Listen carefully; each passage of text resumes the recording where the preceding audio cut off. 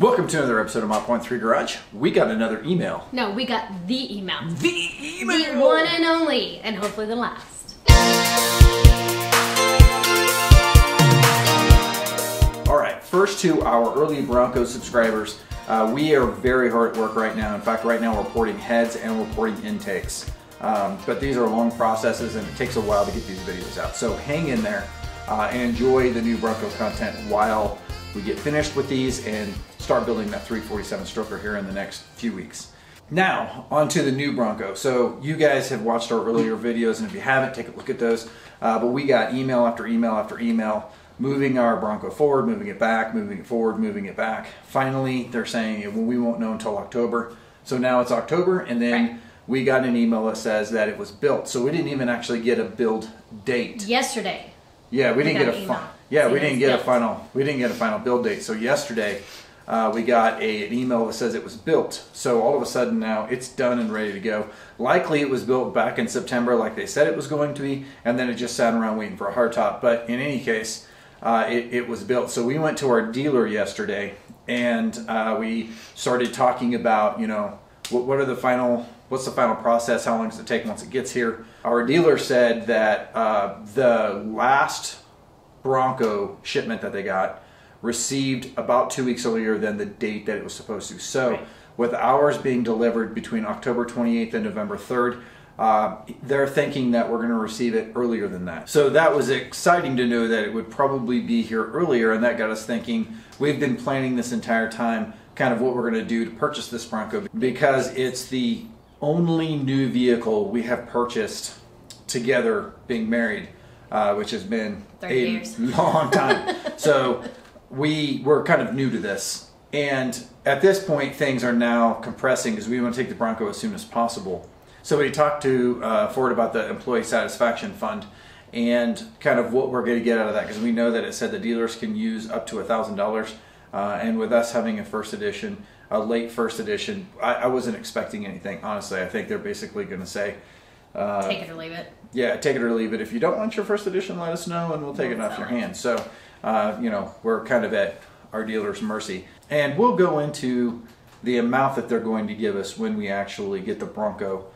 Um, because I, I don't know if it's going to change or not, but I'd hate to say now and then find out that it changed. So we'll get into that later. Plus, I also found out some interesting things about other people getting the full amount or not getting any at all. So we want to talk about that in depth. The other thing is that are we going to trade in the Raptor or are we not going to trade in the Raptor? We have a 2013 race red Raptor that is our pride and joy, and uh, everybody loves it. It's a great truck. Uh, we enjoy. We fight over who's going to be driving it that day. We are thinking about trading it in, and, and the reason why is because a we've already got eight cars and probably 12 or so motorcycles. And uh, having another one is not probably in the mix. And uh, we our biggest payment is actually on the raptor. So it makes sense to trade it in. We just don't want to. So we're trying to negotiate with each other how we're going to do this. But we did take our raptor uh, yesterday to get a value on it and we were actually surprised uh, at what we found. And so we'll go into that in a later video now that said this morning we just got another email And it says it's shipped. So yesterday it was built, today it was shipped. Yeah, and at this point, uh, I don't think it's going to take two weeks or three weeks to get it here once it's shipped.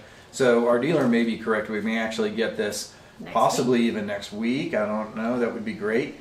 Uh, there would be a lot of fun had at that point because trails are still open, and we promised that when we got this vehicle, we are going to go directly across the front range and start beating the snot out of as much as we can, uh, so that you guys can see this in action and we can go through everything and we can tell you what we like and don't like about it, and uh, which I'm sure We we're going to like everything. So. Uh, but in that case, if there is something that doesn't work out, we'll definitely let you guys know. So if you haven't already, subscribe, and uh, we're going to have a blistering amount of content going forward uh, because there's a lot of things happening with the old Broncos now. Our machine shop just called and they're almost done with the 347 rotating kit. Uh, so finally, finally, finally, we can start putting that together. Uh, the uh, heads and intake are almost ported. So uh, with the transmission being done and the Dana 20 being done and the engine being done now here pretty soon, we can get that all into the chassis uh, and we can start getting this thing wired up and get it running here as soon as we possibly can. But then we'll have the new Bronco to use while we are waiting on this. Not to mention, there's a whole other side of content that's coming that we've been working on for well over a year, and we've just been holding that content. So there is a huge amount coming. Please subscribe, hit the notification bell. We're going to be throwing up everything that we have, and you guys are hopefully going to enjoy it. That's a wrap for Mile Point 3 Garage. And if you want to catch up to all the videos that we've done on the new Bronco and kind of how we got to where we're at now, playlist is right here. Click on that playlist. That's our new 2021 first edition Bronco playlist. So when we take delivery, hopefully next week, you will be on board for everything that we're doing.